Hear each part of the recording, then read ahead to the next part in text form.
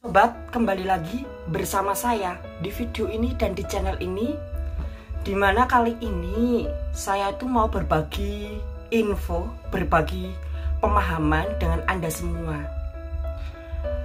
Di mana kali ini saya ingin membahas mengenai berkat pasti di keadaan yang tidak pasti.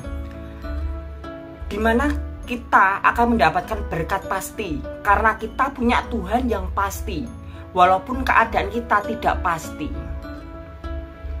Ini adalah poin ketiga yang temanya itu hikmat bebas hutang.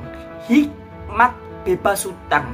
Jadi kali ini saya di-share dari anggota kelompok sel keluarga Allah. Anggota kelompok sel keluarga Allah. Ini ya. Jadi saya pakai arema di anggota sel keluarga Allah dan ini pakaian saya, pakaian kelompok sel. Pak, pakaian kelompok sel ya, komsel.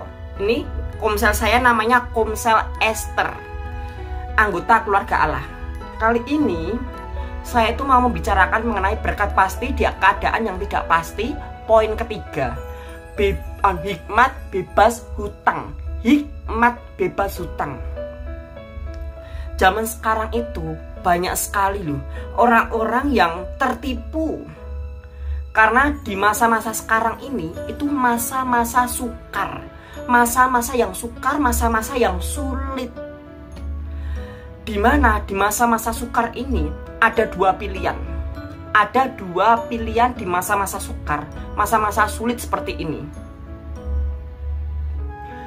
Yang pertama yaitu hutang berlipat yang pertama itu utang yang berlipat dan pilihan yang kedua itu adalah berkat yang berlipat.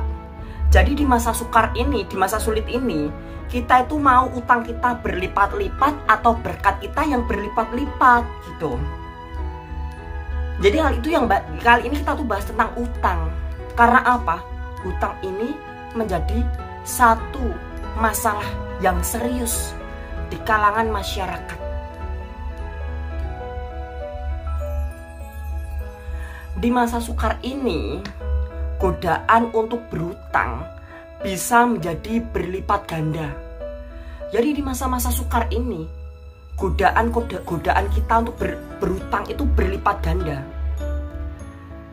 Contoh-contoh, contoh itu seumpamanya kita belanja online sekarang sudah ada sistem anu pay. Contohnya ya seperti go anu pay pay pay gitu ya. Itu pay letter, pay letter, pay letter. Kamu tahu artinya pay letter? Pay letter itu artinya itu toh uh, beli sekarang bayar nanti gitu. Belinya sekarang tapi bayarnya nanti maksudnya apa? Kita disuruh utang dulu. Kita disuruh utang dulu. Dan ini bahaya.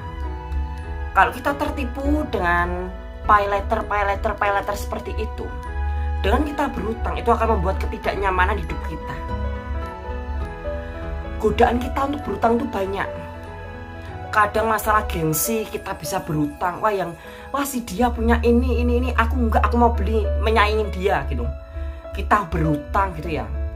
Banyak sekali zaman sekarang itu permasalahan mengenai utang. Banyak sekali godaan-godaan untuk mendatangkan utang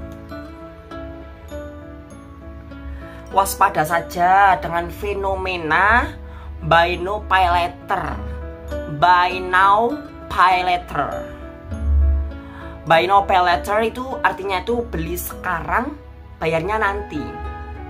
Zaman sekarang tuh banyak loh apalagi belanja-belanja online. Beli sekarang barangnya sudah dibeli tapi bayarnya nanti kita disuruh utang. Itu membahayakan loh ya. Karena apa kamu harus bisa belajar, harus bisa belajar bijaksana dalam mempergunakan berkat finansialmu. Jadi kamu itu harus belajar bijaksana dalam uh, mempergunakan berkat finansialmu. Karena apa? Uang itu bukan milik kita. Uang itu semuanya milik Tuhan kita hanya diper, diberi kepercayaan kepada Tuhan. kita diberi kepercayaan untuk mengelola uang berkat yang Tuhan berikan. Tapi banyak orang salah mengartikan karena uang. Banyak orang berubah karena uang. Banyak orang yang berubah cuma karena uang. Banyak orang itu yang sifat karakternya tiba-tiba berubah cuma karena uang. Mereka jadi sombong, jadi boros cuma karena uang. Di mana di dalam kitab suci, tepatnya di Alkitab, di bagian kitab Amsal pasal 13 ayat ke-7.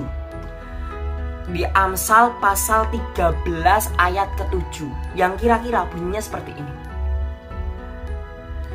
Ada orang yang berlagak kaya, ada orang yang berlagak kaya tetapi tidak mempunyai apa-apa.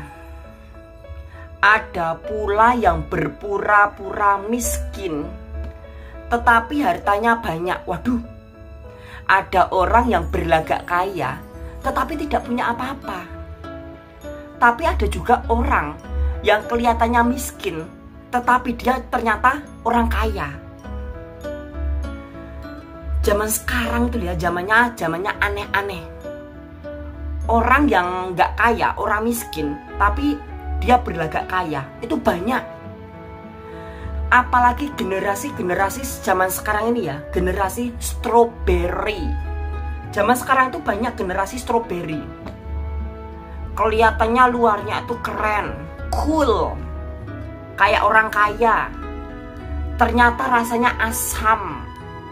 Dia ternyata tidak kaya kelihatan tampangnya aja seperti orang kaya, ternyata orangnya miskin. Tapi ada juga orang miskin, orang yang kelihatannya miskin, orang tuh kelihatannya miskin, ternyata dia adalah orang kaya. Orang yang kaya tetapi berlagak miskin.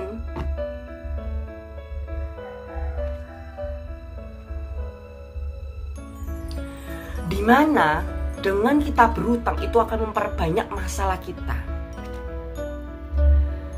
Hidup kita akan tenang, damai, sejahtera tanpa adanya utang. Karena zaman sekarang ini hampir semua kalangan itu banyak sekali yang berpikir tentang utang. Bukan hanya di luar saja, bahkan anak-anak Tuhan banyak yang berutang. Maka, maka dari itu, saya untuk mengingatkan kita tuh kalau bisa tuh apa adanya. Nggak usah sosokan kaya nggak usah gimana gimana nggak usah sosokan merendah juga. Biasa saja. Karena apa? Kita semua manusia itu sama. Kita jangan berubah hanya karena uang karena duit itu jangan. Uang itu adalah berkat yang dipinjamkan yang dipercayakan kepada kita dari Tuhan. Semuanya tetap milik Tuhan kita harus bisa mengelola keuangan dengan baik.